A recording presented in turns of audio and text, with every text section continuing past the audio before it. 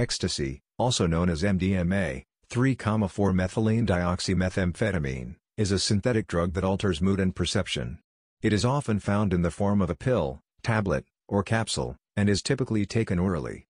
Ecstasy works by increasing levels of certain neurotransmitters in the brain, such as serotonin, dopamine, and norepinephrine.